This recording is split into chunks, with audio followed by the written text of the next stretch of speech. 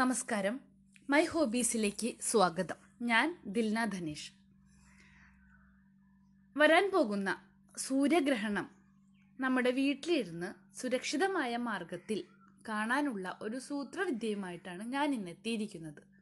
അതിനാവശ്യമുള്ള സാധനങ്ങൾ ഒരു പേനയോ പെൻസിലോ വേണം. പിന്നെ ഒരു സ്കെയിൽ എടുത്തിട്ടുണ്ട് ഒരു കത്രിക എടുത്തിട്ടുണ്ട് പിന്നെ ഒരു നാണയം എടുത്തിട്ടുണ്ട് പിന്നെ എന്റെ കയ്യിലുള്ളത് ഒരു പശക്കുപ്പി. അതിന് പകരം ഇൻസുലേഷൻ ടേപ്പ് ആയാലും ധാരാളം. പിന്നെ വേണ്ടത് ഒരു ചാർട്ട് പേപ്പറും ഒരു കണ്ണാടിയുമാണ്. എന്റെ കയ്യിൽ ചാർട്ട് പേപ്പർ ഇല്ലാത്തതിനാൽ ഞാനിപ്പോൾ തൽക്കാലം ഒരു വെള്ള പേപ്പറാണ് എടുത്തിട്ടുള്ളത്.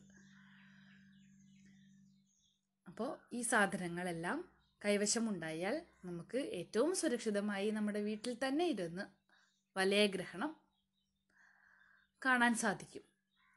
ഇത് രണ്ടായിരത്തി പത്ത് ജനുവരിയിൽ ഉണ്ടായ സൂര്യഗ്രഹണ സമയത്ത് ഞാൻ പരീക്ഷിച്ച് വിജയിച്ച ഒരു സൂത്രപ്പണിയാണ്. കാരണം നമ്മുടെ എല്ലാവരുടെയും കയ്യിലൊന്നും അങ്ങനെ അത്യന്താധുനിക സംവിധാനങ്ങളൊന്നും ഉണ്ടാവില്ലല്ലോ. അപ്പം നമ്മുടെ വീട്ടിലുള്ള ഒരു കണ്ണാടി ഉപയോഗിച്ച് നമുക്ക് എങ്ങനെ നമുക്ക് നമ്മുടെ കുട്ടികളെ സ്കൂളിൽ പോകുന്ന കുട്ടികൾക്ക് കാണിച്ചു കൊടുക്കാം.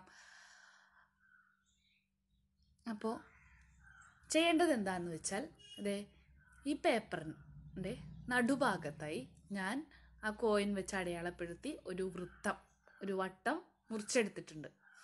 അത് നമ്മുടെ കണ്ണാടിയുടെ സെന്റർ പോർഷനിൽ വരുന്ന രീതിയിൽ ഈ പേപ്പർ നമുക്ക് കണ്ണാടിയെ ഒന്ന് പൊതിഞ്ഞ് ഒന്ന് ഫിക്സ് ചെയ്യാം. ഇത് ഇളകി വരരുത്. പേപ്പർ ഇളകി ഇളകി കണ്ണാടി കിടന്ന് ആടരുത്. അതിനു വേണ്ടി നല്ല നന്ന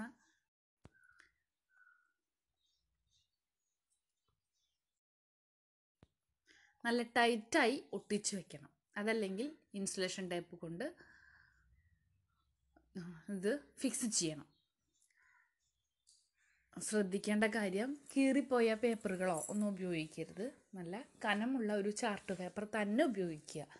നമ്മുടെ കണ്ണാണ് നമുക്ക് ഏറ്റവും വേണ്ട സാധനമാണ് നാശാക്കി കളയരുത്. മാത്രമല്ല ഇത് ഇങ്ങനെ ഒട്ടിക്കുമ്പോൾ ഈ സർക്കിളിലൂടെ മാത്രമേ പ്രകാശം കണ്ണാടിയിൽ പതിക്കാവൂ. വേറെ ഒരു ചെറിയ ചെറിയ സുഷിരങ്ങൾ പോലും വേണ്ട. നന്നായി ശ്രദ്ധിക്കുക. ഇത് ഞാനിത് ഒട്ടിച്ച് കൊണ്ടുവന്നിട്ടുണ്ട്.